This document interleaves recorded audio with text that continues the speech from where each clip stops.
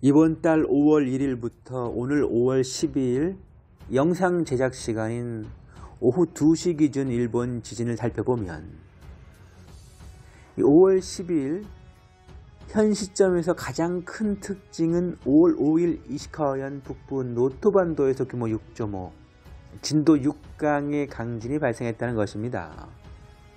일본 기상청은 당초 지진의 규모를 6.3으로 발표했으나 이후에 6.5로 수정했습니다.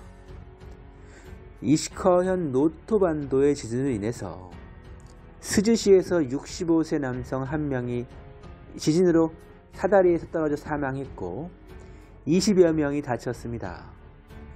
이시카와현 노토 지방의 지진은 5월 12일 오후 2시 현재까지 100회에 육박하는 여진들이 발생하고 있으며 오늘 5월 12일 금요일 오전 5시 50분과 6시 26분에도 두 번의 여진이 발생을 하였습니다. 이번 이시카와현의 지진은 2007년 3월 강진 이후 16년 만에 이시카와에서 일어난 최대 진도 6강의 지진입니다. 이시카와현의 지진으로 우려가 되는 부분은 첫 번째는 이시카와현 이 호쿠리쿠 전력 시가 원자력 발전소의 폭발입니다. 그리고 한반도에도 이시카와현의 지진은 영향을 줄 수가 있다는 것입니다. 2007년 3월 25일 9시 오전 9시 41분경에 일본 이시카와현 앞바다에서 규모 6.7의 강진이 발생을 했었습니다. 얼마 전 지진이 발생한 규모 6.5와 비교했을 때 비슷한 규모입니다. 2007년도에도 2023년 5월과 마찬가지로 사망 1명 그리고 부상은 356명이었습니다. 문제는 쓰나미입니다. 이시카와현 노토 지역에서 50cm의 쓰나미가 발생을 했기 때문입니다. 따라서 2007년 이시카와 이 지방의 이 해역 지진처럼 만약에 바다에서 큰 지진이 발생을 하게 된다면 한국도 쓰나미의 사정권에 들어갑니다. 또한 이시카와현 노토반도 지하에는 2천만 년 전 활동했던 이 거대한 칼데레가 잠들어 있으며 이번 규모 6.5의 강진과 군발 지진이 혹시라도 칼데라의 활동 신호이거나 칼, 칼데라를 자극을 했다면 정말 위험한 상황으로 볼 수 있습니다. 이 두 번째 특징은 이 도카라 열도의 군발 지진입니다. 이 최근 규슈 남부 이 도카라 열도에서 계속해서 군발 지진이 발생 중이며 주변 지역인 규슈 남부 스와노세지마 그리고 사쿠라지마 하산이 큰 폭발을 했습니다. 이것은 제주도에 직접적인 지진에 영향을 줄 수 있는 시그널로 해석될 수가 있어서 우려가 되는 부분입니다. 세 번째는 브레고리 지역 특히 마누아투 인근 지역에서 계속해서 강진들이 발생 중이라는 것입니다. 규모 5 이상의 신발 지진들이 통가, 피지, 마누아투 등의 지역에서 발생을 하면서 불안감을 키우고 있으며 어제 5월 11일에는 통가에서 규모 7.6의 강진이 발생했습니다.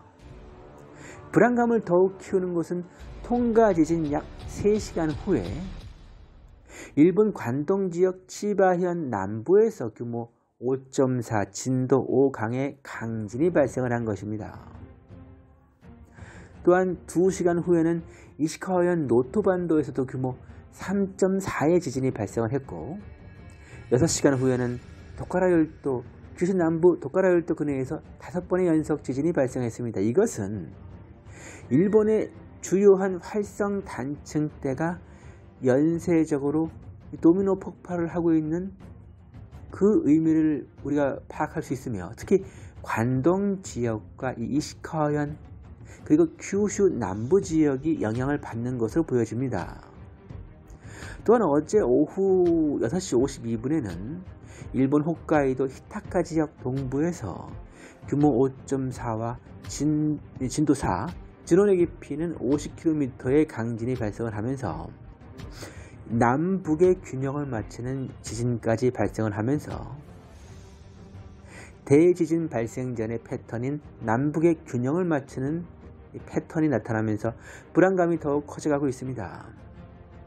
이런 가운데 어제 저녁 10시 33분에는 오키나와 미야코지마 근해에서 규모 6.1, 전원의 깊이는 30km, 그리고 약 20분 후에는 4.6의 강진이 연속 두 번 발생하면서 오키나와의 강진 우려도 커지고 있는데 이 오키나와는 한반도의 뒷문이 열려 있는 이 쓰나미의 불안 지역이며 오키나와 트라프가 요동친다는 것은 매우 안 좋은 시그널로 해석될 수 있습니다. 최근에 제 생각은 차라리 후쿠시마에서 규모 7 이상의 강진이 오히려 일본에 좋을 수도 있다는 생각도 해봅니다. 왜냐하면 이 후쿠시마의 경우에는 물론 오늘도 후쿠시마 나카도리에서 오전 9시 39분에 규모 2.9 전원의 깊이 10km의 지진이 발생했지만 하지만 이렇게 내륙보다는 후쿠시마에서는 대부분 해양의 해역에서 강진 발생 가능성이 상대적으로도 높기 때문입니다. 만약에 일본 큐슈 지역이나 관동 지역 내륙에서 강진이 발생한다면 그 피해는 상상을 초월할 것이기 때문입니다.